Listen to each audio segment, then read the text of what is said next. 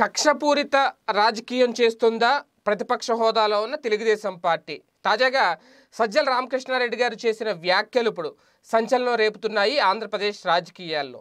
ఎప్పుడైతే court stay విధించిందో ఈ sit విచారణకు సంబంధించి స్టే ఇవ్వడం అమరావతి భూముల విక్రయాలకు సంబంధించి జరిగిన లావాదేవీల విషయంలో ఏసీబీ కేసు నమోదు చేయడం సిట్టు విచారణ ఆధారంగా కేసు నమోదు చేయాలని చెప్పి ప్రభుత్వం ఏసీబీని ఆదేశించడం దాని మీద హైకోర్టు స్టే ఇవ్వడం. అయితే ఇప్పుడు తాజాగా తెర మీదకి వస్తున్న అంశం ఏంటి అంటే దీని మీద పిటిషన్ వేశారు వర్ల రామయ్య గారు అలాగే ఆలపాటి రాజేంద్ర ప్రసాద్. అంటే ఇక్కడ రెండు ఆరోపణలు ప్రధానంగా వైసీపీ నుంచి వినిపిస్తుంది ఒకటి ప్రభుత్వ వాదనలో వాదనలను పరిగణలోకి తీసుకోలేదు అనేది ఒకటి.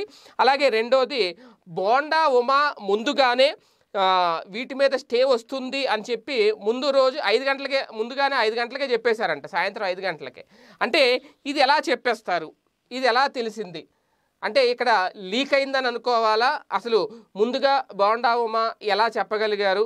దీని మీద స్టే వస్తుంది అని. అసలు ఏం జరిగింది అనేది. ఇది నిజంగా ఆంధ్రప్రదేశ్ ప్రభుత్వానికి ముఖ్యమంత్రి జగన్మోహన్ రెడ్డి గారికి ఇది ఊహించని షాకే అంటున్నారు ఇప్పుడు సజ్జల రామకృష్ణారెడ్డి గారు. అంటే మొదటి నుంచి ఇన్సైడర్ ట్రేడింగ్ జరిగింది అనేది మొదటి నుంచి చెప్తు చెప్తూ వస్తుంది వైఎస్ఆర్సీపీ ప్రభుత్వం. ఆ ప్రభుత్వానికి చెందిన మంత్రులు అప్పట్లో రాజేంద్రనాథ్ గారు ఆ పేర్లు ఇవన్నీ కూడా బయట పెట్టారు ఆర్థిక మంత్రి. అయితే ఇప్పుడు దాని మీద దర్యాప్తు జరుగుతుంది ఇన్సైడర్ ట్రేడింగ్ జరిగిందనే ఆరోపణలు నిరూపించే ప్రయత్నం కూడా ప్రభుత్వం చేస్తుంది వైసీపీ ప్రభుత్వం. కానీ ఇప్పుడు అనుకోకుండా అది ఫైనల్ స్టేజ్కు అంటే ఆ సిట్ వేసి ఎప్పటి నుంచో సిట్ విచారణ జరగడం ఇప్పుడు ఏసీపీకి అప్పచెప్పడం ఇలాంటి టైంలో దీని మీద విచారణ ఇంకా తదుపరి విచారణ కొనసాగించద్దు తదుపరి ఆదేశాలు వచ్చే వరకు అని చెప్పి స్టే రావడం. సో అయితే ఇదంతా ఓకే. కోర్టు తీసుకున్న నిర్ణయానికి కోర్టు తీర్పులను గౌరవించాలి స్వాగతించాలి కాబట్టి దాని గురించి ఇక్కడ మాట్లాడాల్సిన పని లేదు. అయితే ఇక్కడ ముందుగా ఆ తీర్పు వస్తుంది అని చెప్పి ఎలా తెలుసు?